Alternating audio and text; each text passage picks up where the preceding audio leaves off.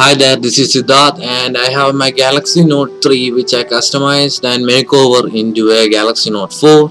So if you guys want to check out how I done it, watch my complete video and see the description. So let's watch it.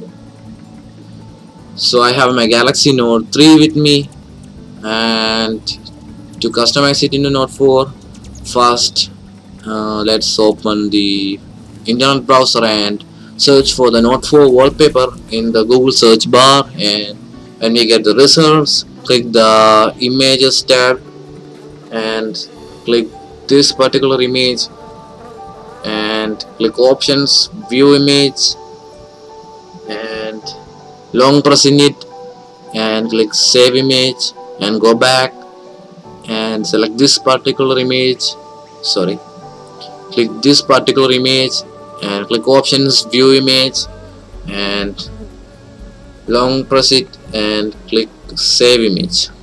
Now let's go back and see whether it downloaded or not. Now let's go back to the home screen. It's downloading. Okay it's download. Now let's confirm it in the gallery too.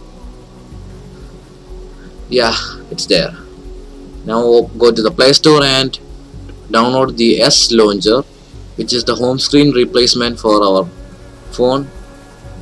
And I have already downloaded it as you see and click options set wallpaper lock screen then click gallery and click downloads and click this particular wallpaper and click done. Now we changed our lock screen wallpaper. Now uh, go to set wallpaper home screen oops, oh sorry. Set wallpaper home screen gallery downloads album and click this particular one and click done. So it's downloaded. Now let's open S launcher and customize it just like the screenshot from my Galaxy Note 4 and this widget I get I got from the digital clock Xperia app which I downloaded from the Play Store and also that it resembles the Galaxy Note 4 clock but it's actually the Xperia clock. We have one big widget as well as one small widget. The small widget that is 2 into 1 is suited for our needs so add them in our home screen. And so it's there and uh, this clock analog clock widget I got from the S launcher as default I will show that it, this was very big clock widget. I will show that. This was this much big widget uh, which I resized it into a small one and I kept it in the center and then I added this Xperia small small Xperia widget there. So now it's done and uh, now talking about settings uh, click uh, uncheck the the desktop option uncheck the wallpaper scrolling option. It is checked by default uncheck it and click drawer. Portrait is 5 into 5 and click ok. Go there go there. Go to the home screen. And talking about all these widgets translucent widget. This is the SL translucent widget which I got as part of the latest SL which I downloaded from the Galaxy App Store.